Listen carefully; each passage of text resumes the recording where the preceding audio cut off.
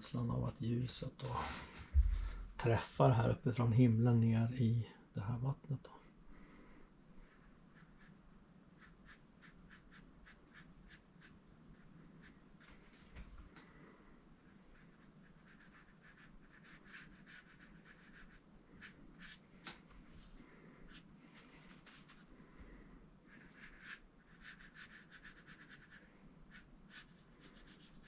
Jag är lite grann på den här kanten bara för att man ska få en känsla av att det faktiskt är en spegling av det här.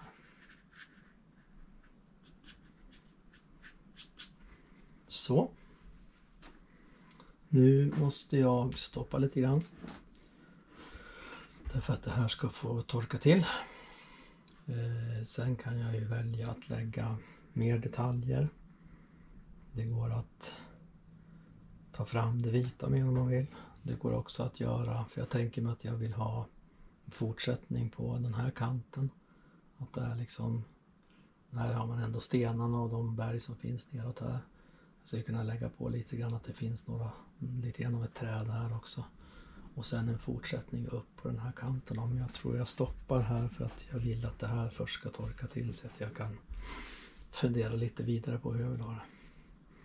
Men eh, så här jobbar jag i alla fall med en akvarell. Att jag då gör själva bakgrunden. Ofta är det ju himmel. Det är inte alltid det är vatten förstås. Det kan ju vara en fjällmiljö med bara en myrmark eller någonting. Men jag bygger upp det på det här sättet att jag efterhand och skapar i det som jag tycker att jag ser framträder. Så det får bli allt för den här videon. Tack ska ni ha för att ni tittade.